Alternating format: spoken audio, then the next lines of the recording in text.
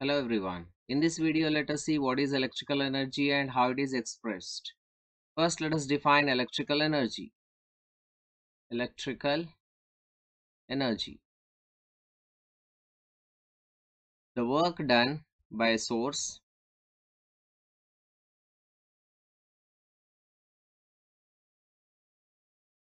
to maintain a current in an electric circuit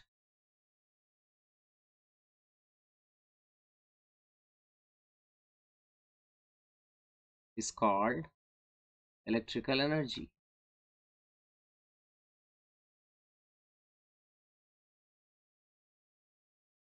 Now let us see how electrical energy can be expressed.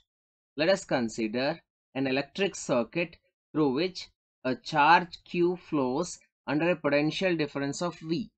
So let me take an electric circuit which has an electrical component. Like we can call this as a electric bulb right? And this electric bulb has a resistor in it.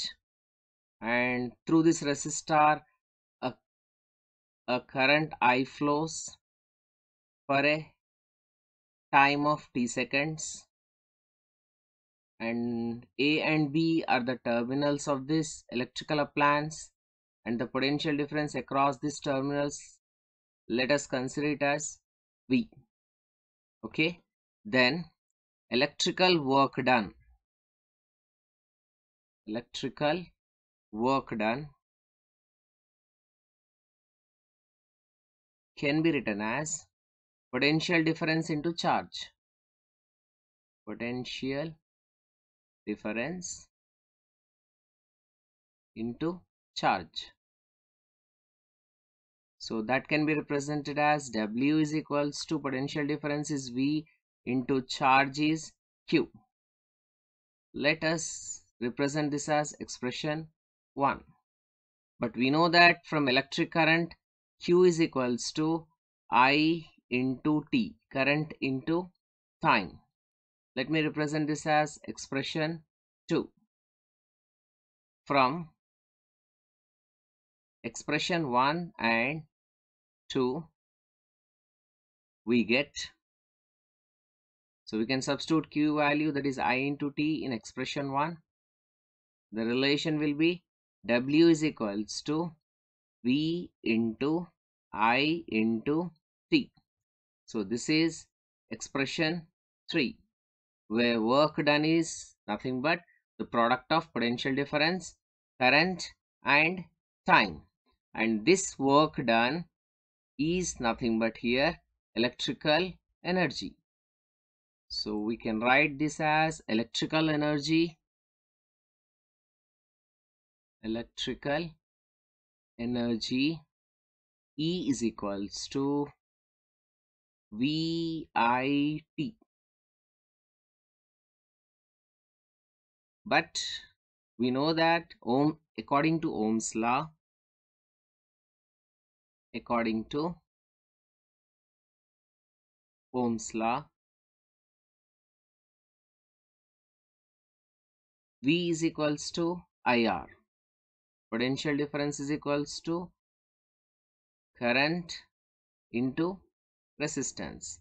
If we define ohm's law we define it as at constant temperature the potential difference across the terminals of a conductor is directly proportional to the amount of current that exists in the circuit. So we can write it as V is, v is proportional to I and uh, then we'll get a constant called R. So when we substitute this V is equals to IR in equation 3 then we can write electrical energy as electrical energy is equals to that is E is equals to V is nothing but here IR IR into IT so here I into I is nothing but I square. We can write this as I square RT that is what? Electrical energy. Let us represent this as expression 4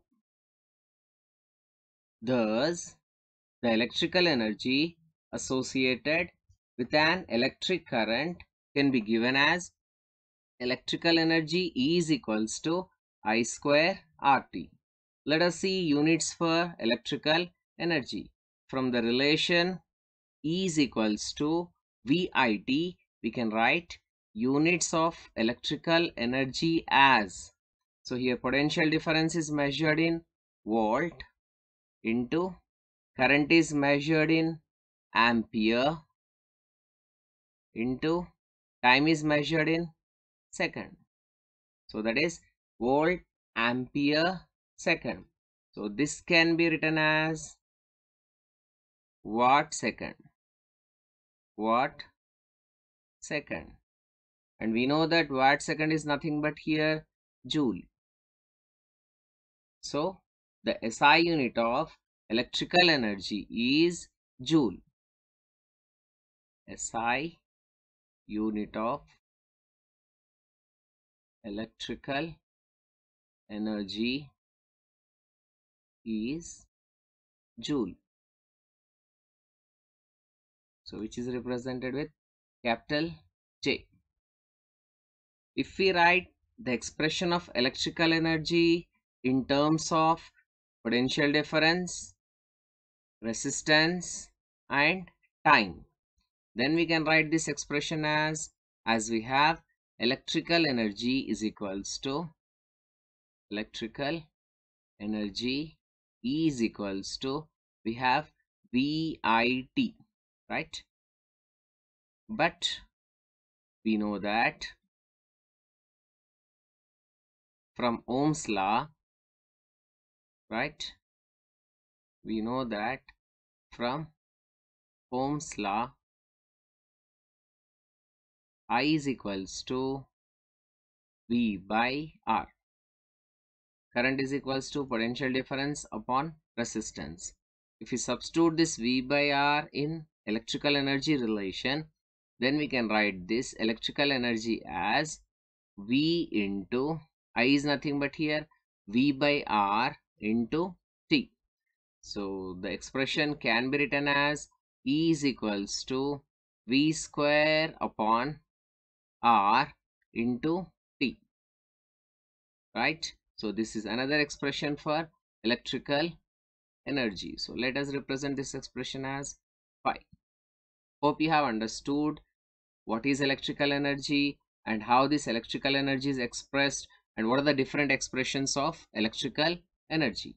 Thank you.